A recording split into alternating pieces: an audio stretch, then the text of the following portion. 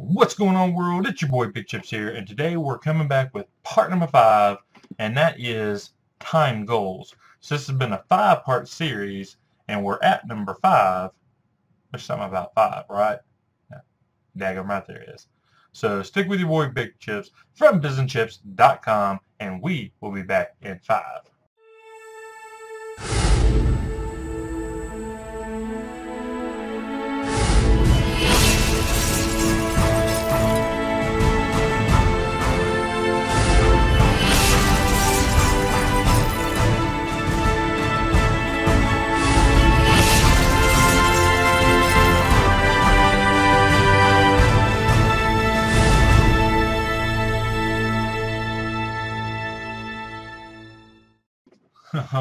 Family, family, welcome back.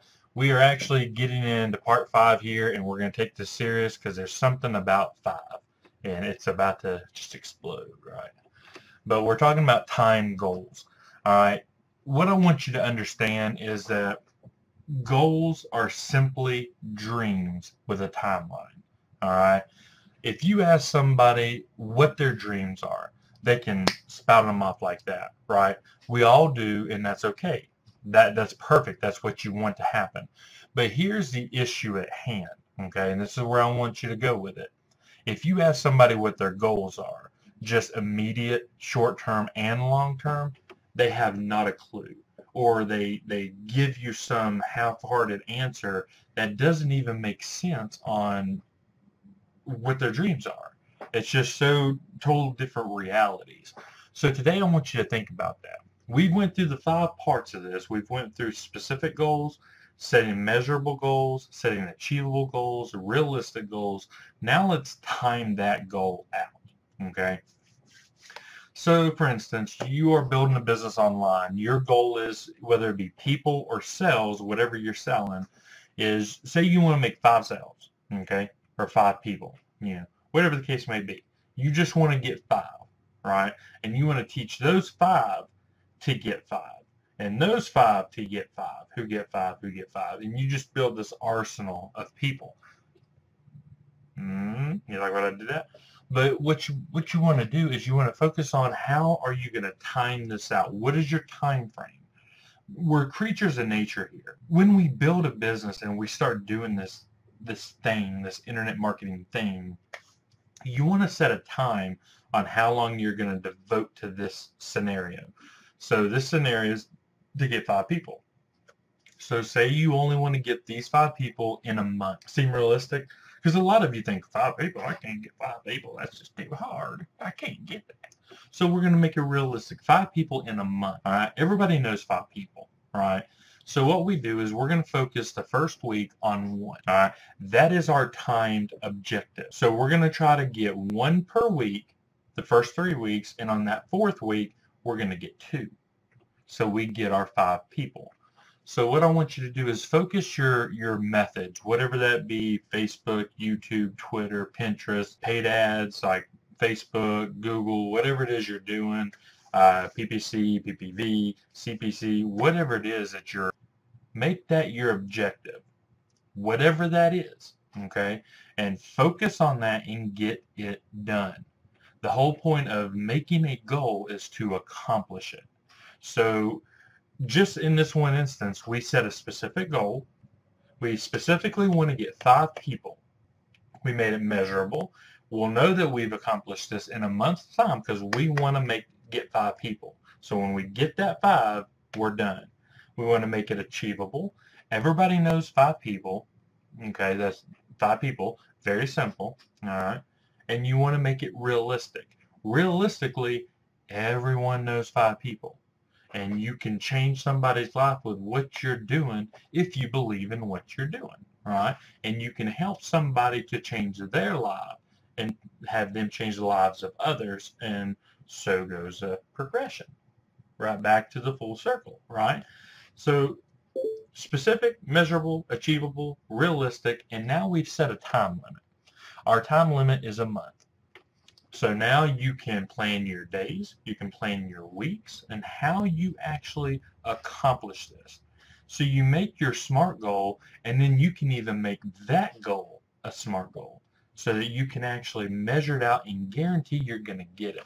Now, I got a lot of stuff on the old whiteboard back here, and it, it changes from day to day, but right now I'm, I've got some logic stuff going on that I'm working with. So I, I'm not blowing it up like I normally do, but pieces of paper. I've, I've got paper, like, like right here is basically what I'm doing for today. All right. These are all the objectives that I've got to do today. And when I get that done, my day is complete. So one of those, okay, one of those is video. I'm doing that now. So I'll have to edit it. I've got my Facebook post. I've already made a few, but I'm going to add this in. So like my first three things here are all together. So I mean, they all go hand in hand.